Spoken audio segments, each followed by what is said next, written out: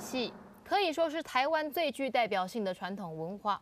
对，话说在光绪年间，有个美国商人查理在台湾下了船，一待就是六年，为的就是经常在台湾看见歌仔戏。哦他是为了听戏才经商的呀。查理的老婆也爱听戏啊，可惜死得早，给他留下了个小儿子。他经常拉着孩子的手到永乐座去听戏，一家人都是戏迷。永乐座凤龙社的头牌旦角李百合有一曲《闺怨》，唱的是极好。哟，他经常去听戏呀，这听着听着就渐渐地爱上了百合。他开始给百合写信，百合也回信呐，两个人暧昧传情了好一阵子。那也可以，赶快娶回家，这样孩子就能有个娘了。不过说来也怪，这百合每回唱完戏就默默地卸了妆离去。三个月时间过去了，查理始终没见到百合卸了妆的模样。对，很多艺人都是这样，怎么样？都不敢素颜的。哎呀，世事难料。有一天，有个调皮的年轻人把查理的马车车轴给弄坏了。这车轴而已啊，小事儿。小事儿。哎，谁晓得小事儿竟会变成丧事？怎么了？这马车车轴一掉啊，查理驾着车摔水沟里死了。哎呦，那个调皮少年就变成间接杀人的凶手了。查理这一死啊，那孩子成了孤儿，哭得好伤心呐。不过幸好。出现了一个姓白的男子，领养了这小孩。世上还是有好心人。这白先生抱着孩子唱了首歌，哄了他，他就不哭了。唱了什么歌？闺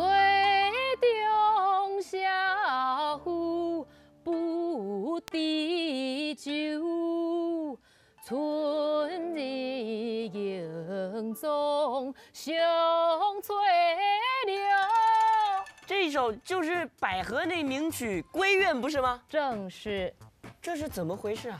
这个白先生究竟何许人也？我都说这么清楚了，你还不明白？明白什么？这“百”字头上少一横，不就念作“白”吗？哦，所以那横跑哪儿去了？跑你眼睛上啦！啊？为什么？因为你白目啊！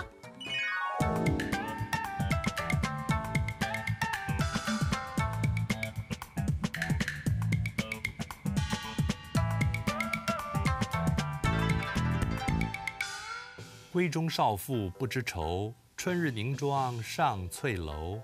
忽见陌头杨柳色，悔教夫婿觅封侯。王昌龄是唐朝的进士，跟孟浩然是很要好的朋友。当了官，却好几次被贬官。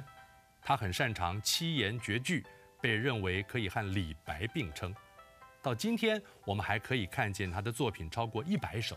他的诗从内容题材来看，可以略分为三类：一是边塞诗，不少是以乐府旧题写成的组诗，表现了战士们的爱国豪情和勇敢乐观的精神；二是赠别诗，以清风寒雨为背景，善用象征手法；三是闺怨宫怨诗，对女性的心理刻画细腻，就好比这首。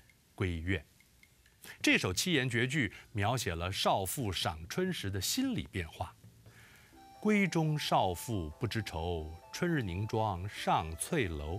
开篇两句描写的是闺中少妇的天真浪漫，不是愁苦。少妇就点出了她的年龄正处于人生大好时光的青春年华，看着绿意盎然的景色，她依旧用心装点自己，并且。登楼赏景，后面两句是转折。忽见陌头杨柳色，悔教夫婿觅封侯。原本不知愁的少妇啊，在看到绿芽初冒的杨柳后，内心不再平静。想到柳树又绿，夫君未归，时光流逝，春情易失，暗自悔恨起当初怂恿夫婿寻求功名的决定。怨深愁重，表露无遗呀。王昌龄非常善用细腻而含蓄的笔法，描写女子的心理状态以及其微妙的变化。这首《闺怨》是极富盛誉之作。安史之乱起，王昌龄从外地返回江宁，结果被刺史吕秋晓所杀。